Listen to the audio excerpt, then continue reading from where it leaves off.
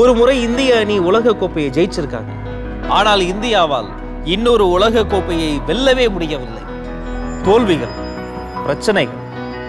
இப்படி தோல்விகளாலும் பிரச்சனைகளாலும் துவண்டு போயிருந்த இந்திய துடுப்பாட்ட அணியை தூக்கி பிடித்த தூணின் பெயர் சச்சின் ரமேஷ் டெண்டுல்கர். பட் ஸ்டில் இந்தியாவால இன்னொரு உலக கோப்பையை வெல்லவே முடியவில்லை. சச்சினோடு சேர்ந்து தோள் கொடுக்க களமிறக்கப்பட்ட வங்கத்து புலியின் பெயர் சௌரவ் கங்குலி. ஒருவேளை சச்சினும் சௌரவும் வேகமா அவுட் ஆயிட்டா?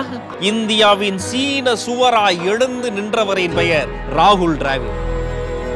இத்தனை பேர் இருந்தோம் இந்தியாவால இன்னொரு வேர்ல்ட் கப்பை ஜெயிக்கவே முடியும் ஏதோ ஒரு குறை இருந்தது.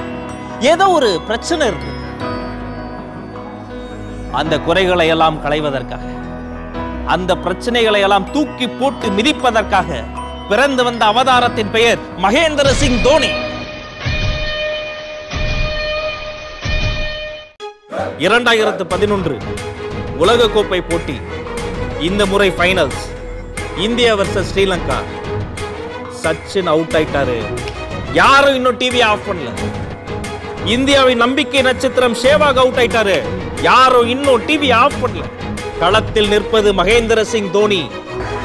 சச்சின் சச்சின் என்று எழுந்த அந்த கோஷம் இப்போது இந்தியா இந்தியா என்று எழுந்த அந்த கோஷம் இப்போது தோனி தோனி என்று எழுந்து கொண்டிருக்கிறது.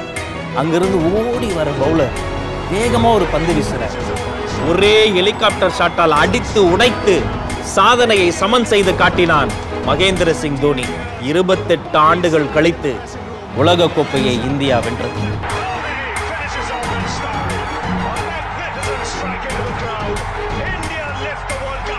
After 28 years, and it's uh, a,